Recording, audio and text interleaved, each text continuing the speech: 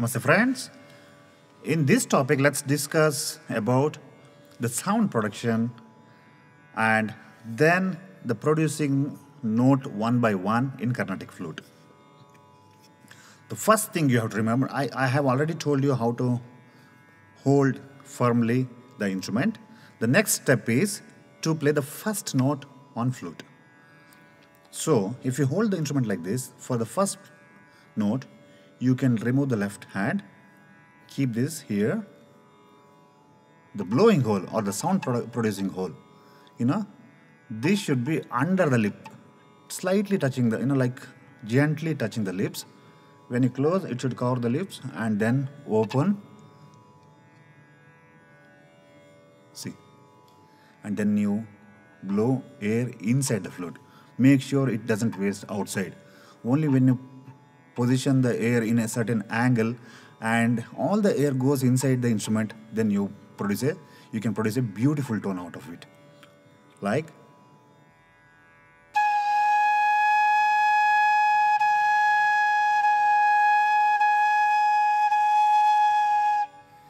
if the air goes outside, not much in inside, then so all this kind of tone will come. But initially, it is very natural. You know, when you try to play the instrument, you will you know have to uh, do a lot of experimentation, then find a perfect position, and then also make sure the air goes into the into the inside the instrument properly, then waste it outside. Again,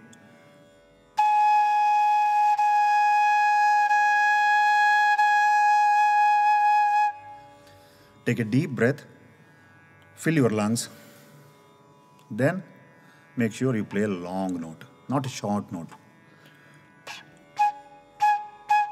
That will not be of much help. So fill your lungs and try to play longer notes.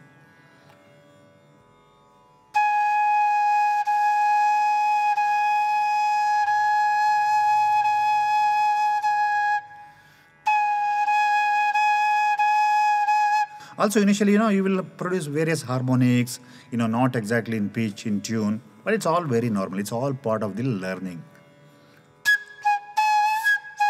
All, all sorts of sound will come initially, but later, the constant practice and the patience will, I'm sure, will yield a good result in producing the right tone.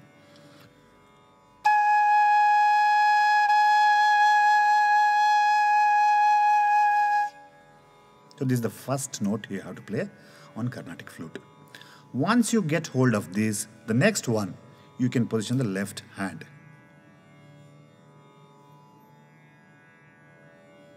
So now hold the instrument in its position. Then don't do anything else. See, clear. The last pinky you can keep as a support. Rest should be like this. Then you can play the same note.